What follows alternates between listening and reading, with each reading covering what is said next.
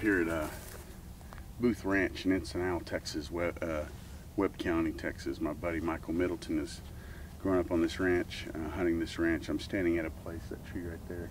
It's a place he calls the Killing Tree. Um, guy's just killed an enormous amount of animals out of that tree.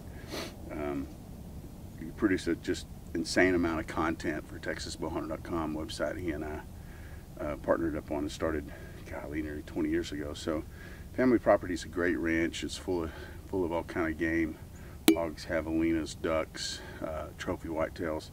Um, he's been real fortunate to have this in his family for decades and get to hunt it. And sad part of it is it's uh, set to be sold. So I thought since he invited me out here to hunt um, deer with him, which he's never been able to do, it's not something that we've done before together, is to get down here to hunt this property, his family property.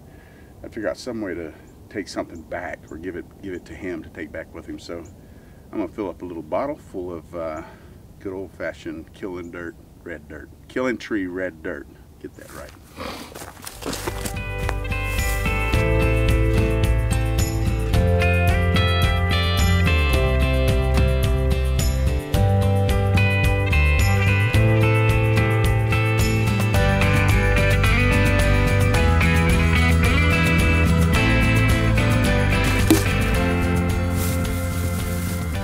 That should do it.